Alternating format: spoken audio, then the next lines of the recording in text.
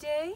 Today I'm going to read for you a beautiful book called Care for Our World. It's written by Karen Robbins and it's illustrated by her friend Alexandra Ball.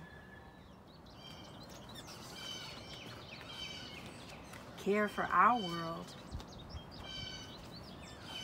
To my mom and dad who taught me to care, Karen Robbins. Dedicated to Tom Scrivener, a true monkey at heart the bravest man I'll ever know, Alexandra Ball. Care for our world, for you and for me, for all living things, from mountain to sea. For blossoms and berries and veggies that grow, for orchards and forests and grass that we mow. For kittens and ponies, rabbits and puppies, for turtles and hamsters, goldfish and guppies. Care for all creatures, no matter how small. The earth's their backyard and home for us all. for spiders and butterflies, cute ladybugs, for scampering crickets and slippery slugs.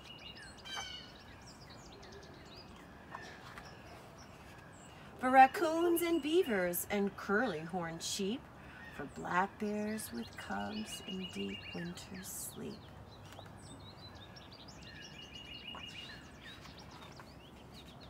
For schools of bright fish and crawling crabs too, for sharks and for flounders in oceans so blue.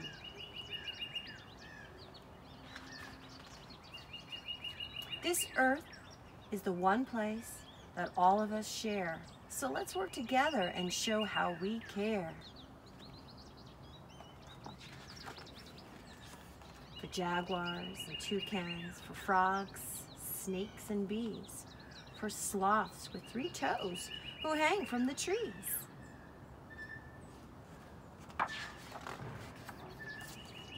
For tigers and camels, big elephants too, for black and white pandas munching bamboo.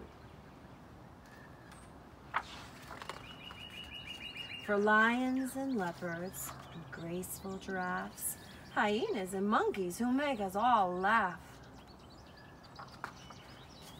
Our world is so big that by now you must know. You have friends to discover wherever you go.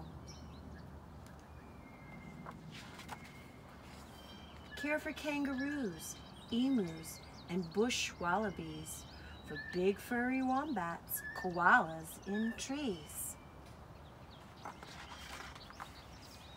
For brave daddy penguins with eggs on their feet, for seals and blue whales who dive down to eat.